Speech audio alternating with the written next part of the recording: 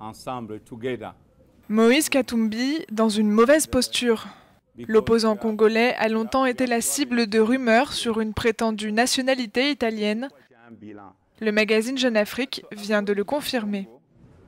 Selon le registre de la province Salvito-Normani en Italie, l'ancien gouverneur du Katanga a bien obtenu sa naturalisation en 2000, mais en janvier 2017, il a demandé à rendre sa nationalité, rapporte Jeune Afrique.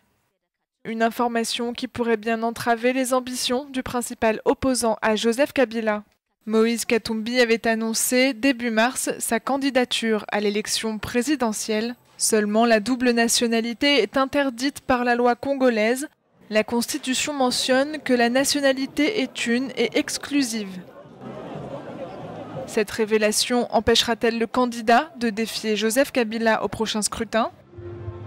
En choisissant la nationalité italienne, Moïse Katumbi a-t-il de ce fait perdu sa nationalité congolaise? Il lui reste jusqu'au 23 décembre prochain pour éclaircir sa situation.